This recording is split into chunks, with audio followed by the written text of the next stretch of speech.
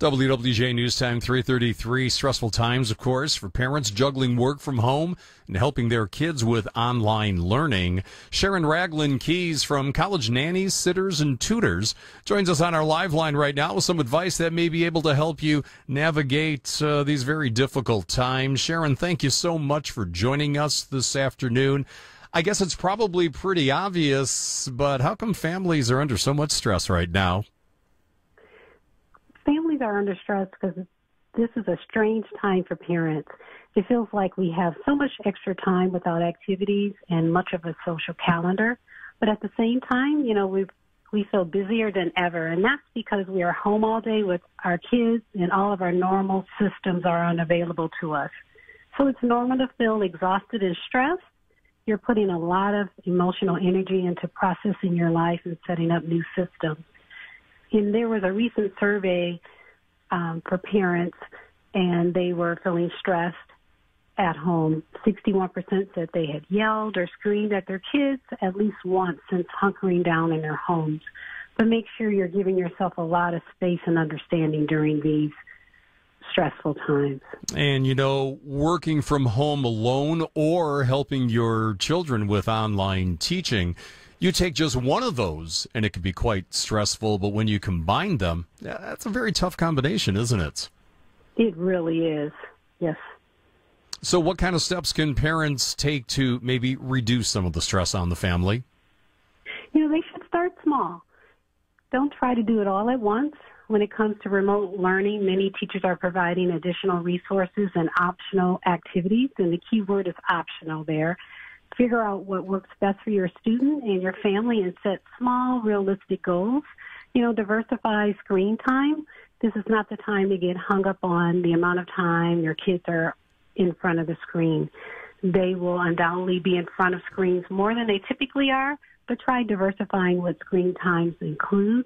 Check out some nature doc- documentaries, learning games, and virtual tours, and maybe they could video chat with grandma and grandpa who can read them a chapter of a book each day, but also they can get help.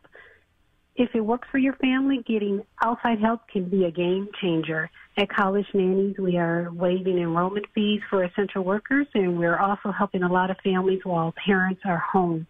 We're able to provide a regular caregiver who can be invited into family social distance circle to help with remote learning and child care so parents can focus on work.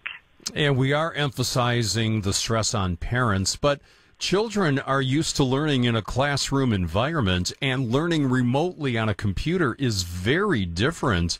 What do you tell those young people that maybe are stressing out because it's such a new adventure for them? Absolutely. So start by creating structure for the day. You know, where will you study? The couch or kitchen table may not be the best places because of distractions. What time will you participate in remote learning? This may also be flexible based on parents' work schedule. But also at College Tutors, we can we can assist with virtual tutoring. In addition to the actual lesson plans, we are helping students set up structure for their day. And summertime, of course, right around the corner, it's going to make things different. The kids will technically not be in school in the summertime, but many parents may still be at home. Any uh, words of wisdom to help as the new season comes in? it may not sound like a positive, but it really is. You know, we can use this time as an opportunity to teach to teach our kids how to fail. Failure is, is an important part of learning, but many kids don't see it that way. They shut down or get frustrated but we can talk to our kids and let them know this is something completely new and we're all going to work together as a family. If it's okay, we have days that aren't great, um, but you know, we can try again the next day. And we can also model that while working at home. If a meeting doesn't go well or technology causes headaches, we can use that as an example. So now is an awesome opportunity to show students how to emotionally be vulnerable and deal with negative emotions in a positive way. Sharon Ragland Keys from College Nannies, Sitters, and Tutors. Thank you so much for joining us here this afternoon, offering some advice that I'm sure many families can put to good use. Thank you, Sharon. Thank you so much.